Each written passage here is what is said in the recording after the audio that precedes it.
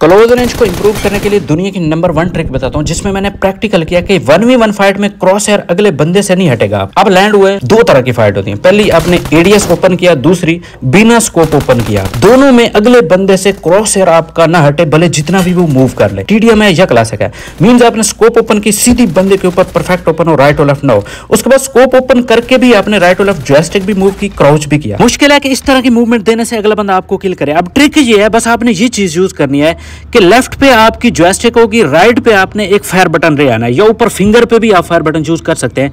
दोनों थम अलग अलग यूज़ होंगे, जिससे आपकी मूवमेंट और एम दोनों कमाल की होगी।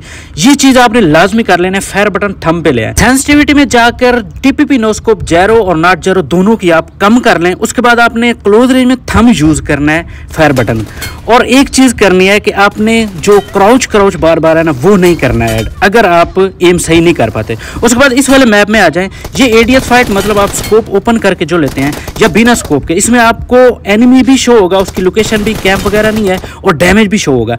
ये दोनों चीज़ें आपकी शो होगी तो आपका रिएक्शन भी फास्ट होगा। ये वाली सेटिंग करके एक बार इस मैप में प्रैक्टिस कर ले, उसके बाद अपना एम लेवल चेक करना।